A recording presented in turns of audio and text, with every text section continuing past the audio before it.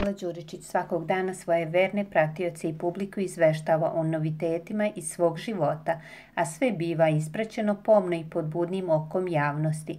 Svesni smo svi da je uspjela da podeli naciju na one koji je vole i oni koji je očima ne mogu da je gledaju, a ona je koristeći sa svojim dosadašnjim iskustvom i znanjem uspjela da sve to unovči i publicitet maksimalno iskoristi u svoju korist.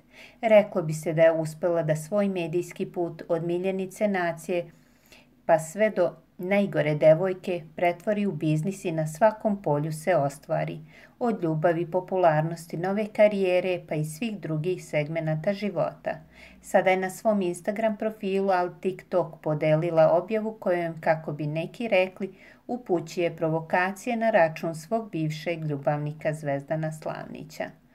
Sirena iz Đenovića snimila se u svom automobilu dok je slušala muziku i reklo bi se da je stihove jedne popularne pesme posvetila nekom od bivših momaka, a sve se sumnja prsti uprti su u koga drugog nego u Zvezdana Slavnića.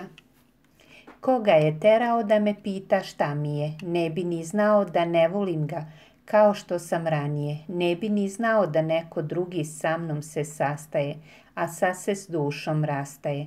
Glasili su stihovi, a Anđela se sve vreme smeškala. Neki bi rekli cinično, dok je kamera hvatala svaku njenu grimasu.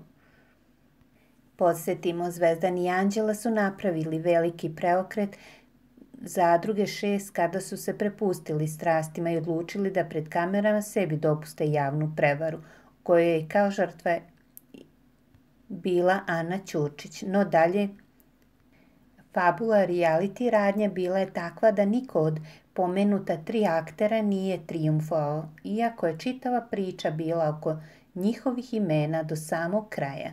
Danas svako od njih je krenuo svojim putem i uspeo da se snađe u svom medijskom, ali i privatnom životu.